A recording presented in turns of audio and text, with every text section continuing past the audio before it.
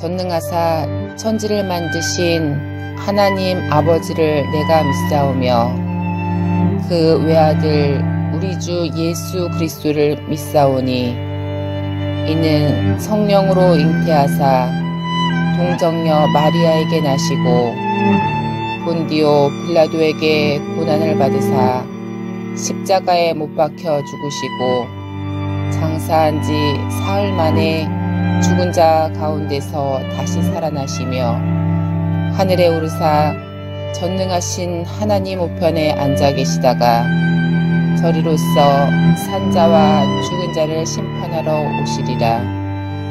성령을 믿사오며 거룩한 공예와 성도가 서로 교통하는 것과 죄를 사하여 주시는 것과 몸이 다시 사는 것과 영원히 사는 것을 믿사옵나이다.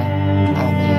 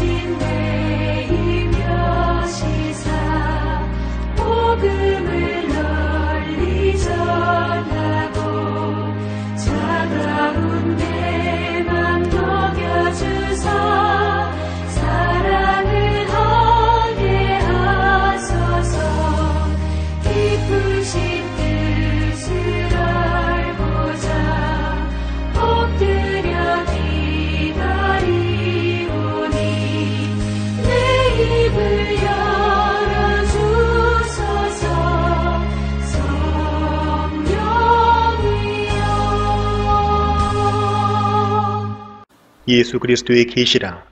이는 하나님이 그에게 주사 반드시 속히 일어날 일들을 그 종들에게 보이시려고 그의 천사를 그 종 요한에게 보내어 알게 하신 것이라. 요한은 하나님의 말씀과 예수 그리스도의 증거, 곧 자기가 본 것을 다 증언하였느니라. 이 예언의 말씀을 읽는 자와 듣는 자와 그 가운데에 기록한 것을 지키는 자는 복이 있나니 때가 가까움이라.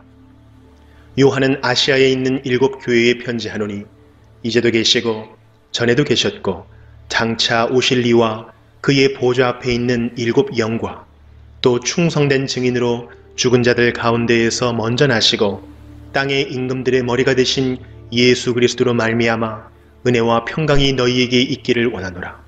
우리를 사랑하사 그의 피로 우리 죄에서 우리를 해방하시고 그의 아버지 하나님을 위하여 우리를 나라와 제사장으로 삼으신 그에게 영광과 능력이 세세토록 있기를 원하노라. 아멘. 볼지어다 그가 구름을 타고 오시리라. 각 사람의 눈이 그를 보겠고 그를 찌르는 자들도 볼 것이요.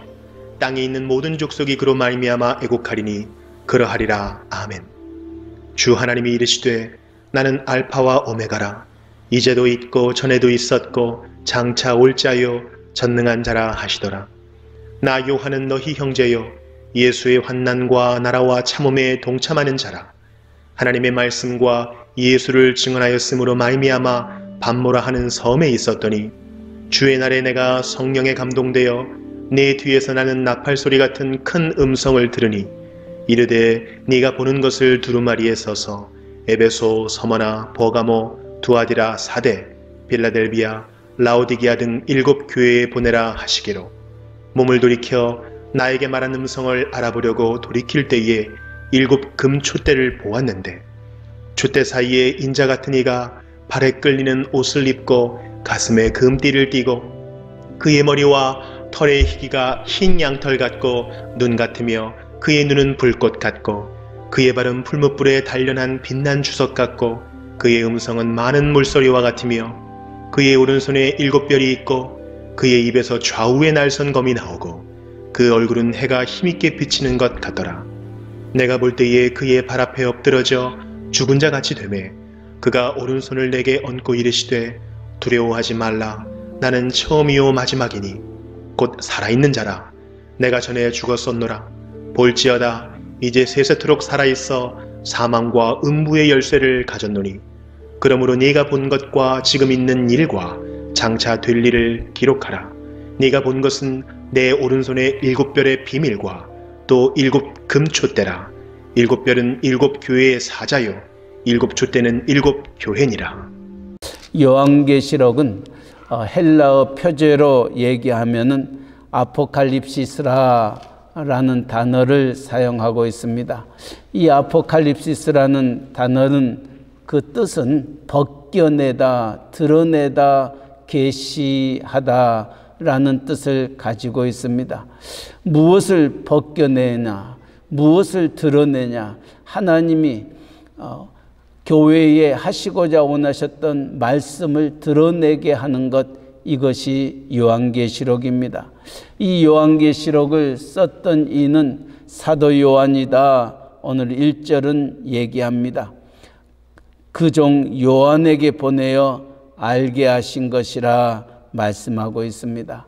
이 요한이 무엇 어디에서 이 요한계시록을 기록하였느냐 하면 9절에 보니까 나 요한은 너의 형제요 예수의 환란과 나라와 참음에 동참하는 자라 하나님의 말씀과 예수를 증언하였으므로 말미암아 밤모라 하는 섬에 있었더니 주의 날에 내가 성령에 감동되어 내 뒤에서 나는 나팔 소리 같은 큰 음성을 들으니 이르되 내가 보는 것을 두루마리에 써라 말씀하였던 것을 기록한 책이 요한계시록입니다. 그런 의미에서 볼 때 사도 요한은 밤모섬에 유배되어 있었던 겁니다. 무엇 때문에요? 예수의 환란과 나라와 참음에 동참하였기에 다시 말하면 예수 그리스도의 피 묻은 복음을 증거하였다는 그 제목으로 갇혀 있었던 겁니다. 지금 사도 요한이 요한계시록을 썼던 그 당시의 배경을 보면은 도미니안 로마의 황제가 황제 숭배를 강요하고 있는 그때였습니다. 가이사에게 모든 것이 주어졌던 때인데 이처럼 사도 요한과 교회가 가이사에게 숭배하는 것이 아니라 예수 그리스도를 향하여 숭배하고 경배하였기에 그 어느 때보다도 교회의 핍박과 환란이 심하였던 것입니다. 그래서 사도 요한이 밤모섬에 그 일로 인하여 갇혀 있지만은 하나님은 사도 요한의 눈을 열어서 앞으로 장차 일어나야 할 일들을 보여주셨던 겁니다. 앞으로 되어질 모든 것들을 22장에 있는 말씀과 같이 어, 하나님이 그에게 보여주었던 모든 것들을 기록하였습니다. 그리고 누구에게 이 기록한 것을 말씀하고 있냐면 교회들에게 말씀을 해주고 있습니다. 특별히 일곱 교회 오늘 11절 말씀에 에베소 교회, 서버나 교회, 버가모 교회, 두아디아 교회, 사대 교회, 빌라델비아 교회, 라우디아 교회 등 일곱 교회에 보내라 하셨던 말씀을 기억하며 그들에게 썼던 편지가 계시가 요한 계시록입니다. 그래서 이 일곱 교회를 향하여 무엇을 썼냐는 거예요. 1절에는 예수 그리스도의 계시라 이렇게 말하고 있습니다. 또 2절은 요한은 하나님의 말씀과 예수 그리스도의 증거 곧 자기가 본 것을 다 증언하였느니라. 예수 그리스도에 관한 계시 또 앞으로 되어질 일들에 대하여 증언한 그 모든 것들을 기록한 책이 요한 계시록입니다.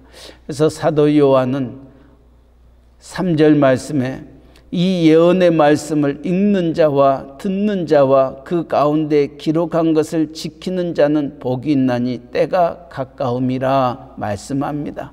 이 말씀은 시편 1편 1절과도 동일한 말씀입니다. 복 있는 자는 악인의 길을 쫓지 아니하고 죄인의 길에 서지 아니하고 오만한 자의 자리에 앉지 아니하고 오직 여호와의 율법을 취하러 묵상하는 자로다. 여호와의 율법을 취하러 묵상하는 자가 복 있는 자다. 오늘 사도 요한은 누가 복 있는 자냐? 이 예언의 말씀을 읽고 듣고 그 가운데 기록한 것을 지키는 자가 복이 있다 말씀하고 있습니다. 그래서 예수 그리스도가 누구신가? 4절은 요한은 아시아에 있는 일곱 교회 편지하노니 이제도 계시고 전에도 계셨고 장차 오실 이와 그의 보좌 앞에 있는 일곱 년과 또 충성된 증인으로 죽은 자들 가운데서 먼저 나시고 땅의 임금들의 머리가 되신 예수 그리스도로 말미암아 은혜와 평강이 너에게 있기를 원하노라. 우리를 사랑하사 그의 피로 우리 죄에서 우리를 해방하시고 그의 아버지 하나님을 위하여 우리를 나라와 제사장으로 삼으신 그에게 영광과 능력이 세세토록 있기를 원한다 말합니다. 예수 그리스도에 대하여 이전에도 계시고 이제도 계시고 전에도 계시고 장차 오신다. 히브리서 어, 기자의 말에 의하면 예수 그리스도는 어제나 오늘이나 영원토록 동일하시느니라. Jesus Christ is the same as yesterday, today and forever. 과거에도 계시고 오늘도 계시고 내일도 계실 그이가 예수 그리스도이심을 말하고 있습니다. 그는 또한 누구입니까? 죽은 자들 가운데서 먼저 나시고 부활의 주님이시라는 것입니다. 또한 그가 우리를 사랑하시고 우리를 죄에서 구원해 주셨던 구원자이심을 말씀하고 있습니다. 그가 우리를 이 세상에 하나님의 나라와 제사장으로 삼으셨사. 우리를 택하여서 왕 같은 제사장으로 그의 소유된 백성으로 또 거룩한 나라로 하나님이 우리를 세우셨던 거지요. 하나님이 왜 우리를 그렇게 부르시고 세우셨는가? 하나님이 왜 이 일곱 교회를 향하여 이 하나님이 장차 일어날 모든 것들을 계시하고 있는가? 앞으로 일어날 그 일들에 대하여 교회가 어떠한 각오와 다짐과 마음으로 앞으로 다가올 그 모든 일들을 준비해야 할 것인가를 가르쳐 주고 있습니다. 다시 말하면 교회가 깨어 있어야 할 것을 가르쳐 주고 있는 것입니다. 오늘 이 말씀과 이 계시를 주셨던 주님이 어디에 계시냐면은 일곱 금촛대 사이 속에 계신다라고 말하고 있습니다. 금촛대는 무엇을 얘기하고 있습니까? 빛을 상징하고 있습니다. 교회는 교회는 예수 그리스도가 참빛으로 이 세상에 오셨던 것처럼 이제 말세가 되고 종말이 다가올수록 세상은 어두워지고 환란과 핍박과 박해가 극심하고 있는 이때에 교회가 이 세상을 향하여 가져야 될 역할이 분명히 있음을 말해주고 있습니다. 그 역할이 뭐냐면 빛의 역할입니다. 어두워져 가고 있는 이 세상 속에 빛을 비추는 것이 교회입니다. 성도입니다. 하나님이 우리를 부르시고 우리를 구속하시고 이 세상에 남겨두셨던 것은 이 빛을 드러내기 위함인 것입니다. 예수 그리스도를 드러내기 위함인 것입니다. 결국은 요한계시록 끝에 가보면은 이 주님을 영접하고 주님과 함께 이 세상을 살아가는 자들에게는 하나님이 예배에 넣으셨던 영광스러운 새 하늘과 새 땅을 맛보지만은 이 빛 대신 주님 앞에 나오지 아니하고 어둠 속에 거하는 그들은 영원한 형벌인 지옥의 심판에 이르게 됨을 말해주고 있습니다. 오늘부터 요한계시록을 묵상할 때에 하나님이 우리를 향하여 주셨던 그 계시 그것이 무엇인가?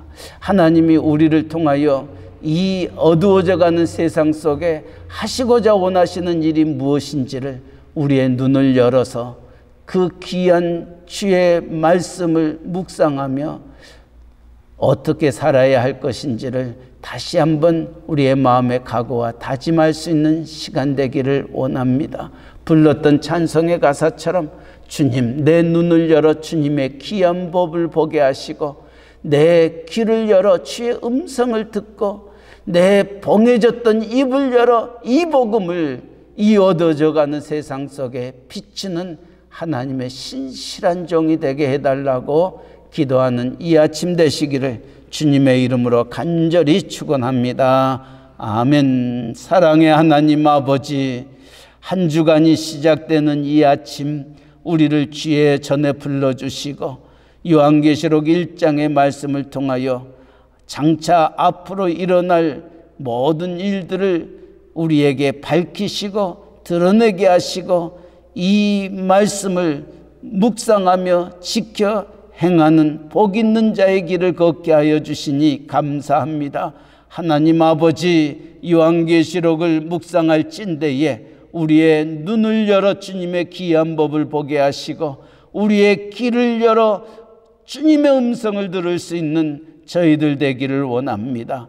하나님의 말씀은 하나님의 감동으로 된 것이라 말씀하셨으니 하나님이 내게 말씀해 주지 아니하시면 하나님이 나를 깨닫게 해 주지 아니하시면은 우리는 이 말씀을 깨달을 수 없는 우둔한 저희들이오니 아버지여 우리에게 국률과 자비를 베풀어 주시고 이 어두워져 가는 세상 속에 이 팬데믹 같은 여러 가지 힘든가 어려움이 우리 가운데 있는 이때에 아버지 우리가 좌절하거나 낙심하거나 주저앉는 저희들 떼지 말게 하여 주시고 이 모든 것들을 우리에게 주신 하나님의 선하시고 기뻐하시고 온전하신 뜻이 무엇인지 분별할 수 있는 저희들 되게 하여 주셔서 정말 세상에 빛 되게 하시고 소금 되게 하시고 하나님의 영광을 드러내는 저희들 되게 하여 주시옵소서. 일곱 교회를 향하여 주시는 이 귀한 말씀을 우리의 가슴에 알아 새기면서 교회가 교회다워지게 하시고 또한 교회가 하나님의 뜻을 이룰 수 있는 아버지 복된 하나님의 피난처가 되어지도록 은혜 내려 주시옵소서 아버지 오늘도 새벽을 깨웁니다 사랑하는 종들의 마음 마음을 주장하시고 인도하시고 주님 함께하여 주시옵소서. 아버지여 먼저는 우리의 사랑하는 자녀들, 우리의 가정을 주님 앞에 내어놓습니다. 아버지여, 우리의 가정의 온 식구가 정말 하나님의 계시를 바르게 깨달아 알아 한평생 말씀 붙잡고 그 말씀대로 순종하여 복 있는 자의 길을 걸어갈 수 있도록 은혜 허락하여 주시되 특별히 우리의 사랑하는 자녀들 여호와를 경외하는 것이 지혜의 지식의 근본임을 알게 하시고 하나님 안에 거하는 믿음의 귀한 자녀들 손주들 되게 하여 주시옵소서. 아버지 오늘도 우리의 직장과 사업체를 허락하여 주셨으니 아버지 오늘도 우리의 일터 속에서 마음껏 주의 뜻을 이룰 수 있는 저희들 되게 하시고 어두워져 가는 세상 속에 빛되게 하시고 소금되게 하시고 하나님의 뜻이 하늘에서 이루어지는 것처럼 땅에서도 이루어지는 기쁨을 누리게 하여 주시옵소서 우리가 있는 이곳이 천국이 되게 하여 주셔서 아버지 하나님의 의와 사랑과 평강이 넘치는 복된 자리들이 되게 하여 주시옵소서. 여러 가지로 힘들고 어려운 시기입니다. 팬데믹으로 말미암아 많은 것들이 전과 같지 아니하지만은 주님 계신 그곳이 그 어디나 하나님의 나라임을 기억하게 하여 주셔서 우리에게 주어진 하루가 복된 하루 되게 하시고 많은 것들을 누리며 또 열매 맺는 하루가 되게 하여 주시옵소서. 아버지여 또한 멕시코 유카탄 이사말과 끼틀꿈 스틸페치아 프라이데 깔멘 또 세계 방방곡곡에 주의 복음 전하는 선교사님들 전도자들 이 하나님의 놀라운 복음의 계시를 증거할 때마다 하나님의 영광이 가득하게 하시고 하나님의 나라가 이 땅에 임하는 아버지 천국을 이룰 수 있도록 은혜 내려 주시옵소서.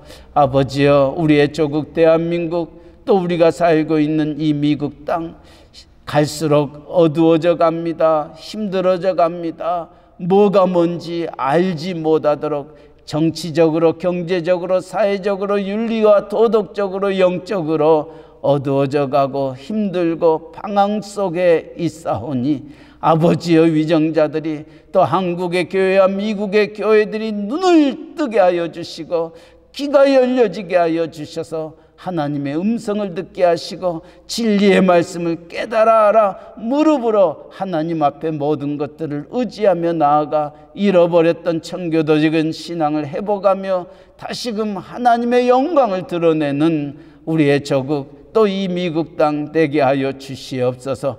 아버지 오늘은 Labor Day입니다. 하나님 아버지 또 우리가 한 해 동안 수고하고 힘쓰고 애썼던 그 모든 것들을 생각하면서 쉼을 가질 때에 하나님의 위로와 평강이 각 심령 속에 임하게 하여 주시고 머리끝부터 발끝까지 지쳐 있는 심령들 또 지쳐 있는 우리 모두에게 하나님의 크신 기쁨이 또 평강이 또 위로와 하나님의 그 만져주심이 우리에게 있어 모든 것이 회복이 되게 하여 주시되 영적인 회복이 있게 하시고 육적인 회복이 있게 하시고 마음의 회복이 있는 복된 하루 되게 하여 주시옵소서 아버지 특별히 육신의 연약함 속에 있는 이들이 있습니다.